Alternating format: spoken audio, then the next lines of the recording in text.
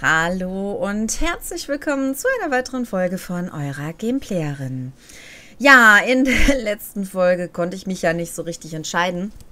Aber aufgrund meines Levels würde ich sagen, machen wir dann erstmal mit dem letzten Teil weiter. Also sprich mit Catwills Gold, wenn man so möchte. Und danach mache ich dann erst die Kriegergilde. Ich hoffe, dass ich sie dann komplett durchmachen kann. Also, dass ich dann alle Quests hintereinander durchspielen kann und auch genauso von der Magiergilde dann die Quests hintereinander durchspielen kann, dass die dann so an einer Reihe sind. Ja, Basti, wir haben heute so einiges vor und im Hintergrund ist die ganze Zeit schon einer am Reden und mit der müssen wir jetzt auch reden. Die welke Blume blüht wieder. Schön, euch in bester Gesundheit wiederzusehen. Wie bin ich hierher gekommen? Wir haben euch im Wasser treibend gefunden. Ich habe schon Leichen gesehen, in denen mehr Leben steckte. Aber Kapitän Kalin ist trotzdem ins Wasser gesprungen und hat euch rausgefischt. Sie hat mich also gerettet. Wer ist sie? Sie ist Kapitän auf diesem Schiff. Derzeit ist sie auf Landgang, um Leute für unseren jüngsten Auftrag anzuwerben. Vielleicht wollt ihr ihr einen Besuch abstatten, wo sie euch doch das Leben gerettet hat. Das werde ich tun. Die welke Blume blüht wieder. Schön, euch in bester Gesundheit wiederzusehen. Wo bin ich hier genau? Ihr seid im Bauch der Speerspitze, dem Schiff von Kapitän Kalen. Wer seid ihr? Ich bin eines der wenigen Mannschaftsmitglieder, die Kapitän Kalin gegenüber loyal geblieben sind. Der Rest, nun, Je weniger Worte man über diese blutrünstigen Meuterer verliert, desto besser. Ja, dann würde ich sagen, gehen wir mal raus. Ich gucke gerade, nee, ich dachte, da wäre noch ein Buch, aber dem ist wohl nicht so. Dann schauen wir mal, wo sind wir jetzt da? Das heißt, die gute Kalen ist irgendwo vor mir links dem Steg, wenn ich mich richtig erinnere. Ich habe genug von dieser Insel Kalin. Ich sollte in Betnik bei meinem Volk sein. Okay. Schaut euch das an, Lambur. Unsere beinahe ertrunkene Freundin ist wieder bei Kräften. Ich war mir nicht sicher, ob ihr durchkommt. Ihr habt mich gerettet? Eigentlich habe ich euch nur aus dem Wasser gefischt. Meister Kassan hat euch wieder zum Atmen gebracht. Das Wichtigste ist, dass ihr noch lebt. Aber wenn ihr euren Dank beweisen wollt, dann könnte ich etwas Hilfe gebrauchen. Hilfe wobei? Einen Auftrag. Alle, die dabei sind, werden reich. Ich brauche jetzt nur ein neues Gesicht. Jemanden, den der Anführer und brutalste Schlichter vor Ort, Oberhaupt Bosek, nicht kennt und nicht aufhalten wird. Es geht im Grunde nur darum, dass ihr die Leute anwerbt, die ich brauche. Dann bekommt ihr auch einen Anteil. Habt ihr Interesse? Also ehrlich gesagt, ich habe da jetzt noch nie anders entschieden. Ich denke mal, wenn man Nein Danke anklickt, dann äh, ja, muss man das nicht machen, bekommt aber auch kein Gold dafür. Und wenn ich jetzt zustimme, so wie ich das halt sonst auch immer gemacht habe, dann mache ich halt normal diese Quest durch und kriege dann auch dementsprechend ja, Gold halt oder einen Anteil, wie sie es nennt. Nun gut, ich werde euch helfen. Die drei Leute, die ich brauche, sind Lerissa die Gerissene, Jakan und Neramo. Alle drei oder auch nur einer von ihnen würden mir reichen. Erzählt mir von Jakan. Er ist ein Dieb, aber nicht irgendeiner, sondern der Beste, den es gibt. Er wäre eine große Hilfe bei dem Beutezug, den ich geplant habe. Das Problem ist nur, dass er Bosek bestohlen hat. Keiner bestiehlt Bosek. Also wurde er ins Grab unter Boseks Palast geworfen. Ich werde nach Jakan suchen. Wie komme ich an ihn heran? Es gibt einen Eingang vom Flussufer aus, unterhalb des Palasts. Achtet auf Fallen und die anderen Gefangenen. Da unten ist jeder ein Mörder. Das ist der schlimmste Abschaum der ganzen Insel. Das ist das Grab. Man kann jederzeit wieder gehen, sofern man es lebend dort rausschafft. Wer hat das Sagen auf Stross im Kai? Bosek der Blutige. Oder Oberhaupt Bosek, wie er sich heutzutage nennt. Er hat vor Jahren den Palast übernommen. Er hat den alten Herrscher einfach umgebracht und seinen Platz eingenommen. Stellt sich ihm irgendwer entgegen? Kapitän Helani. Aber sie ist noch schlimmer als Bosek. Ihre Seedrachen haben das Sagen in Heilighafen südlich von hier. Die größte Mörderbande auf allen Meeren. Bosek und Helane dulden einander. Keiner von beiden ist bereit für einen Krieg. Noch nicht. Wo kriege ich hier etwas zu trinken her? Die kreischende Meerjungfrau ist gleich die Straße hoch. Und da gibt es immer guten Rum. Haltet nur eure Geldbörse gut fest. Sonst seid ihr am Ende des Tages bettelarm. Sollte ich auf irgendwen achten? Auf Boseks Schläger, die Blutfäuste. Kommt ihr einem in die Quere, kommt ihr allen in die Quere. Und dann spießt Bosek euren Kopf schneller auf einen Pfahl, als ihr bitte spießt meinen Kopf nicht auf einen Pfahl sagen könnt. Und wenn ihr nach Heilighafen kommt, dann weiden euch die Seedrachen aus. Wo ist der Rest eurer Mannschaft? Diese Verräter sind desertiert. Wisst ihr, an den Galeonen der Bretonen kann man sich ein Vermögen verdienen. Die Sache ist nur die, dass König Faharajat uns dazu aufgerufen hat, die Überfälle auf die Bretonen einzustellen, weil wir jetzt ja alle zum Dolchsturzbündnis gehören. Als loyale Rotwardonin habe ich ihm natürlich gehorcht. Wer ist König Faharajat? Herrscher der Rotwardonen. Jetzt König untergleichen im Dolchsturzbündnis. König Faharajat hätte uns die Schiffe unserer Feinde und nicht unserer Verbündeten überfallen lassen. Darin liegt Weisheit. Hat eure Mannschaft widersprochen? Wenn eine andere Meinung auch einen Mordanschlag mit einschließt, dann könnte man das wohl so ausdrücken. Ein Haufen verdammter Meuterer. Lambur, ich und ein paar andere haben sie vom Schiff gejagt. Aber es hat eben die Runde gemacht. Niemand hier will mit einem Kapitän in See stechen, der keine Bretonen überfallen will. Oh, ich würde das gerne machen. Immerhin bin ich ja Bretonin, ne? Und es in ist See stechen unglaublich, ist ja im auch nicht Herzen von wir zu stehen, nicht wahr? Man kann das Flüstern der Ahnen hören. Schön, schön. Ähm, wenn es gute Ahnen sind, natürlich. Nur wenn es böse Ahnen sind, ist das nicht ganz so schön. Wir holen uns mal eben schnell die Himmelsscherbe, die mich hier schon die ganze Zeit anlächelt. Und dann bin ich jetzt gerade am gucken. Das Grab ist meines Wissens nach hier durch, ne? Ja, genau. Da müssen wir hier rein. Was war das denn? Ich bin doch nur reingegangen. Ich bin hier nicht reingeplumpst. Na gut, äh, Basti? Basti, du blöder Hund. Wo bist du denn jetzt schon wieder? Sag mal, ist dir das hier zu heiß oder was?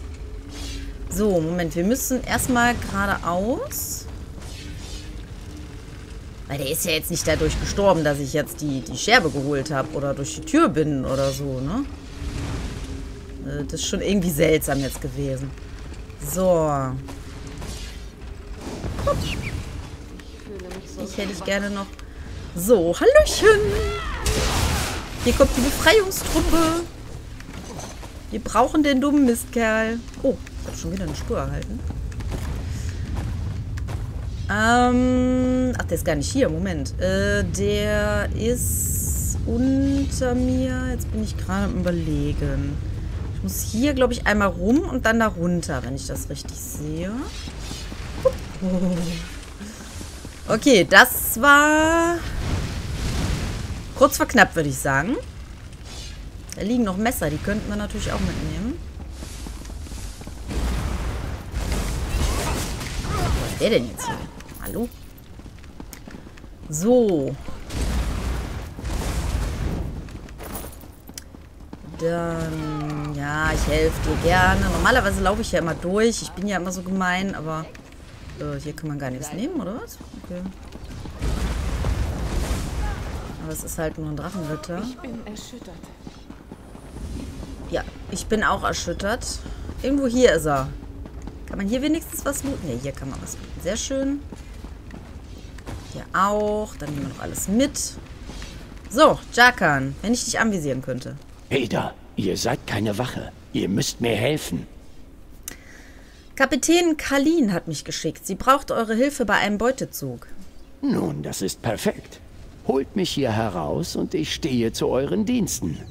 Ihr werdet feststellen, dass ich ein Mann mit vielen Talenten bin. Hm, so wie der aussieht, glaube ich das gern. Wenn ich einen hübschen Kerl in einer Zelle vorfände, würde ich ihn befreien. Echt? Schwul ist er auch noch. Nein, nur Spaß am Rande. Habt ihr Oberhaupt äh, Bosek wirklich einen Edelstein gestohlen? Ist das gerade wirklich so wichtig? Sicher, ich habe diesen Edelstein mitgehen lassen, aber er hatte ihn doch vorher so einem armen Händler abgenommen, den er anschließend zum Krepieren hier reingeschmissen hat. Man kann doch einen Dieb nicht bestehlen, oder? Also, ich kenne da einige berühmte Persönlichkeiten, die würden da das Gegenteil sagen. Ähm, nun gut, ich hole euch hier heraus. Was muss ich machen? Ähm, Moment, halt, stopp, da stand gerade was mit Zellentür. Da. Na komm. Vielleicht findest du noch einen gut aussehenden Hierfür Kerl, den du befreien ich kannst. euch was. Danke. Und jetzt hauen wir ab von hier. So. Ich bin einfach außer mir Nach euch. Nur danke. Verlass das Grab. Na super, komm. Helfen wir dem mal. Ich weiß nicht, warum der hier so steht und sich schlagen lässt. Ähm, gut, dann gehen wir wieder nach oben. Das dann doch mal ein bisschen weiter weg, weil sonst sehe ich die... Genau, sonst sehe ich die Fallen nämlich nicht mehr. Hm, ja, mach schon. Hat der mich gerade beworfen? Hallo? Geht's noch?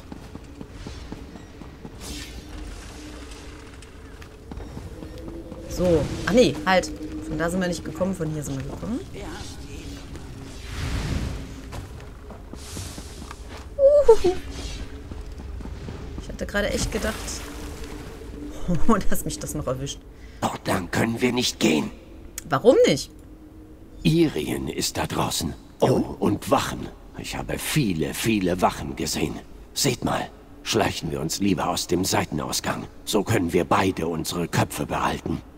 Nee, da stand nur eine Frau. Da standen keine Wachen. Na gut, machen wir das, was er sagt und gehen mal zum Seiteneingang.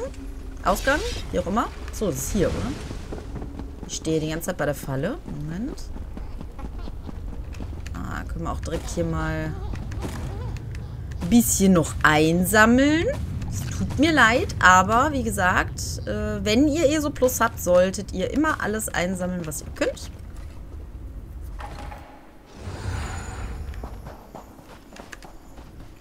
Danke, dass ihr mich da vorhin rausgeholt habt. Wo ihr doch gerade in heldenhafter Stimmung seid. Könntet ihr mir dabei helfen, etwas zu holen, was ich bei den Goblins vergessen habe? Ihr habt etwas bei den Goblins gelassen? Ich schätze, wenn man etwas sicher aufbewahren will, dann gibt man es Goblins. Sie passen umsonst darauf auf. Sie sind zu dumm, um es einzutauschen, und sie werden jeden töten, der versucht, es an sich zu nehmen. Werden sie euch nicht töten, wenn ihr versucht, es ihnen wieder wegzunehmen?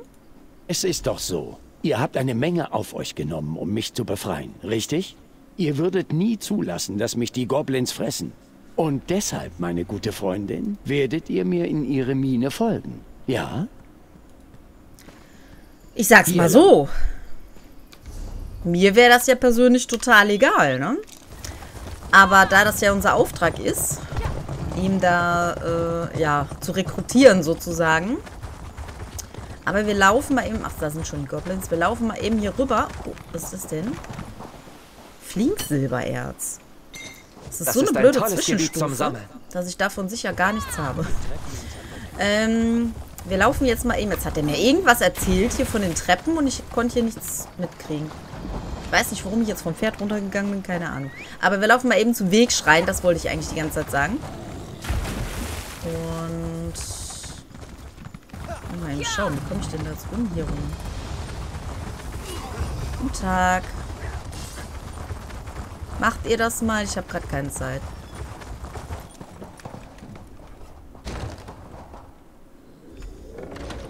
Sie bewahren alles im oberen Bereich auf. Das heißt dann, dass wir nach oben gehen? Oder? Nehme ich mal an. Auch wenn ich nicht weiß, wo es hochgeht. Ähm. Ist hier. Nee, warte. Ah, Moment. Oh, doch, doch, doch, Moment. Da soll man, glaube ich, hin, ne? Ah, ja, genau. Nicht schlapp machen! Mache ich nicht. Ich laufe nur eben durch. Hallo? Basti, ernsthaft. Du bist da, um den abzulenken. Und da war ja nur einer. Komm, kümmere dich um den, dann können wir hier durch. So.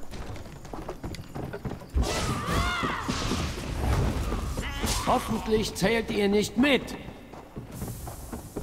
Warum? Dann hättest du doch die Nase vorne. Ich habe da sowieso keinen großartig angegriffen.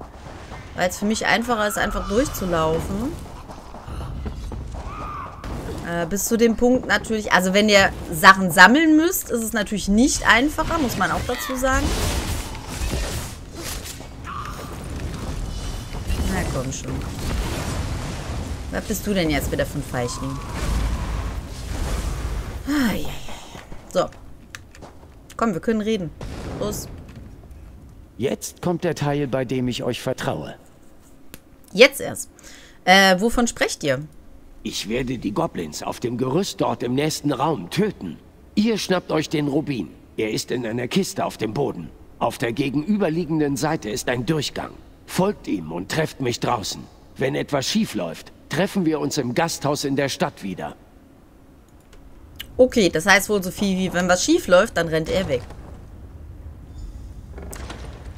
Ähm, war die jetzt oben oder unten? Da ich hier irgendwas machen musste, mache ich dich mal mit platt. Ne, die war aber unten.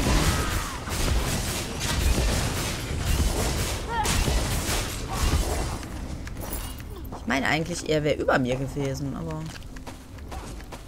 Die nehmen wir natürlich auch mit. Zack. Was war das denn?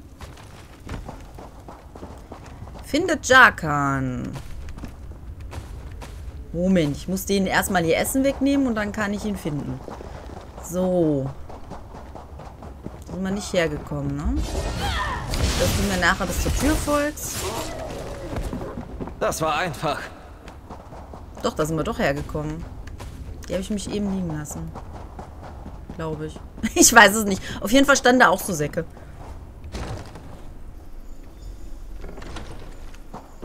Also sind wir nicht hierher gekommen. Egal.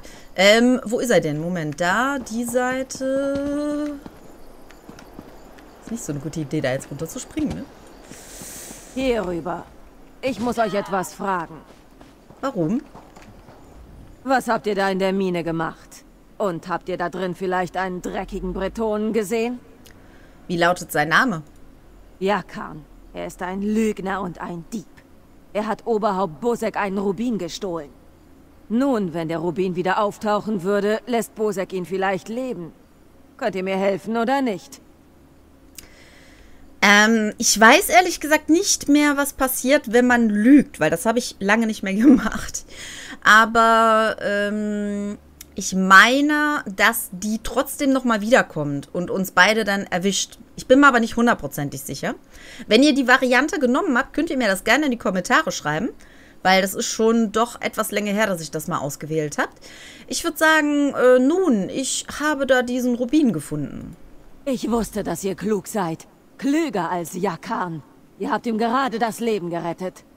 Wenn ihr ihn das nächste Mal seht, dann sagt ihm, dass er die Insel verlassen und nie mehr zurückkehren soll. Das werde ich tun. So, wir müssen immer in die Richtung reiten, wenn jetzt nicht gerade Rubinerz hier aufgetaucht wäre. Schön, dass du schon auf dem Pferd sitzt. Ich bin doch noch gar nicht so weit. Ähm, ich glaube, hier kommt man rum. Hm?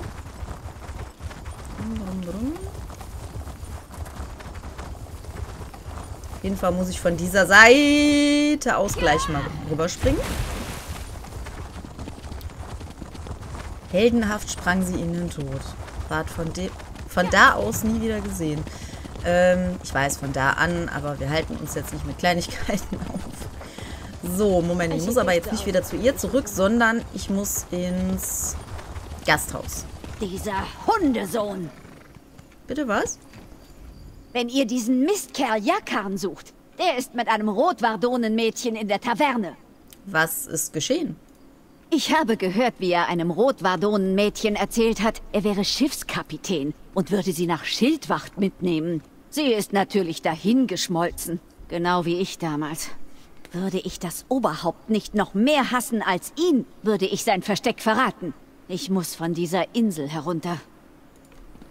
Dann äh, viel Glück dabei und äh, vielleicht können wir ihm ja noch was dazu sagen. So, da ist er. Schön zu sehen, dass ihr da rausgekommen seid.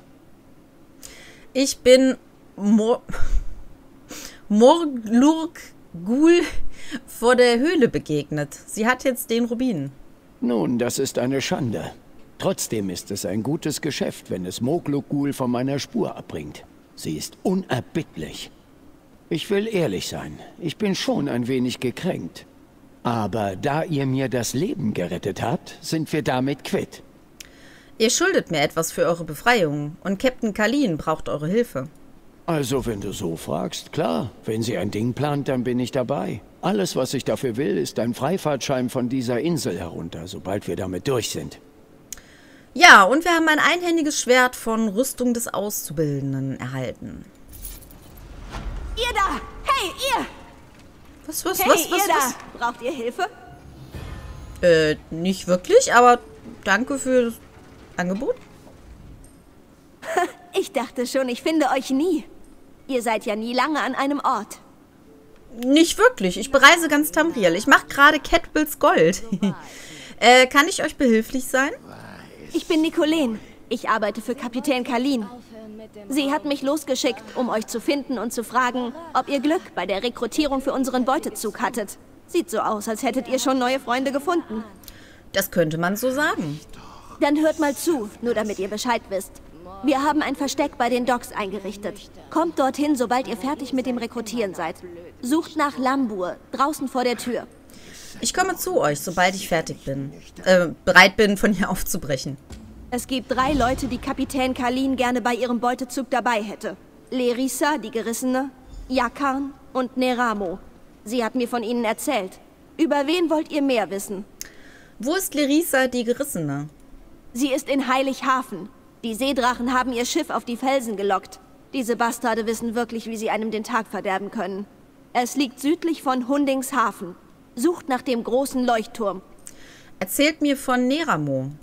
Er ist ein brillanter Dwemer-Gelehrter. Also nicht, dass er selbst ein Dwemer wäre, aber er studiert sie.